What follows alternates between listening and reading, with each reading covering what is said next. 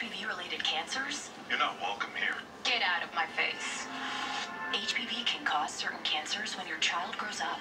Get in its way. HPV can affect males and females, and there's no way to predict who will or won't clear the virus. The CDC recommends HPV vaccination at age 11 or 12 to help protect against certain cancers. Hey, cancer, not Mine. child. Don't wait.